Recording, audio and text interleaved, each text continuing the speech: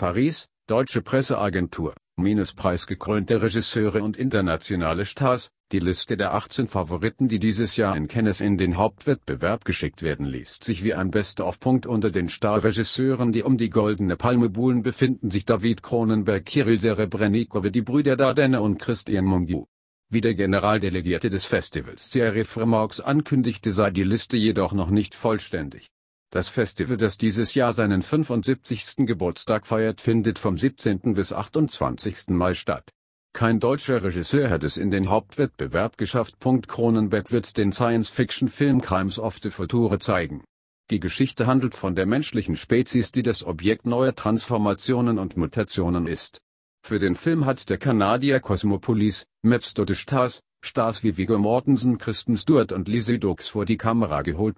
Der lange von der russischen Justiz verfolgte Starregisseur Kirill Serebrennikov stellt Tschaikowskis Wife vor einen Film über seinen Landsmann den Komponisten Peter Tschaikowski.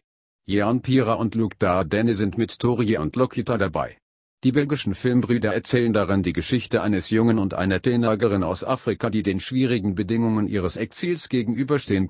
Laut der Palmengewinner der schwedische Regisseur Ruben Östlund der 2017 für seine Gesellschaftssatire des Quer die Goldene Palme gewann kehrt mit Strangle of Sadness zurück. Laut Fremaux eine politische Komödie. Auch Starregisseur Park Chan-wook Oldboy Stoke ist wieder im Hauptwettbewerb vertreten. Diesmal stellt der Koreaner den Thriller Decision to vor. Christian Munge der 2007 in Cannes für vier Monate drei Wochen und zwei Tage die Goldene Palme gewann zeigt er ihm ein.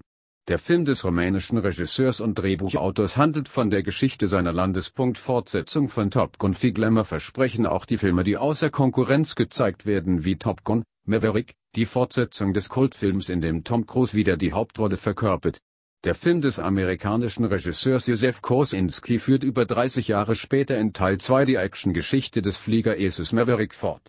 Für die Filmbiografie Elvis über den 1977 verstorbenen Rockstar hat Baz Luhrmann Tom Hanks und Austin Butler vor die Kamera geholt. Ebenfalls außer Konkurrenz läuft 3000 Years of Longing des australischen Regisseurs George Miller der mit der Mad Max Filmreihe bekannt wurde in dem Film über Fragen zur Welt und der Menschheit spielen die schottische Oscar-Preisträgerin Tilda Swinton Michael Clayton, Only Lovers Left Alive und Idris Elba Beasts of No Nation. Mit Punkt eröffnet wird das Festival mit Z, Comet Z, des Franzosen Michel Hazanavicius der Artist. Bei dem Film soll es sich laut Fremaux um eine Vampir-Komödie handeln. Auch er wird außer Konkurrenz gezeigt.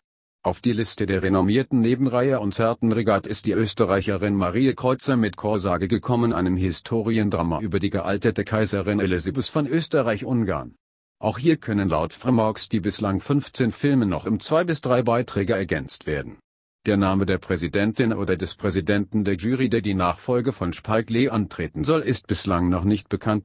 Copyright. Deutsche Presseagentur. Infocom Deutsche Presseagentur. Doppelpunkt. 2204149991805554